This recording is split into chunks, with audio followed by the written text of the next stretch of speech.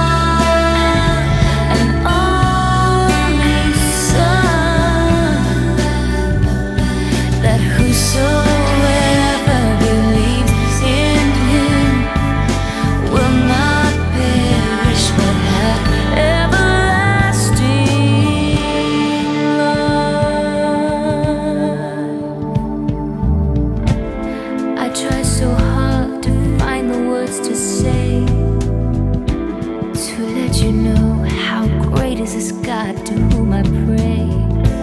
Nothing can nor ever will.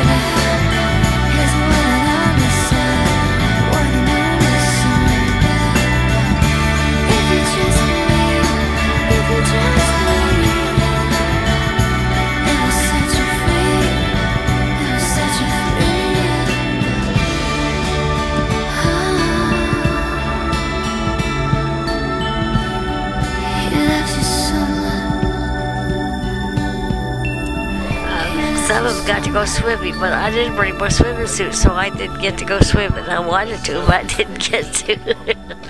but I will next time. But I sure had a great time, and we got to see so many people, and everybody was so glad to see us, and it made us so happy to know about all these people caring about us. But I sure am glad that I've got such good kids that took take, take such good care of me and friends that were here from Lubbock and well, Spire. And everybody was so good. We really enjoyed it all. And uh, we've had a wonderful life. We have nothing to be ashamed of. Everything's been so good for us. And God has blessed us so much. And uh, good kids and good friends and a good place to live. Those are things that make old people feel that their life has been worthwhile. And mine has been a blessing to not only to me but to many others. And I, as I see all these people that came today, they all told me, "Well, I remember when you did this, or I remember when you did that." And I just couldn't believe that they remember some of the things that I'd done. They were so minor, but it was wonderful.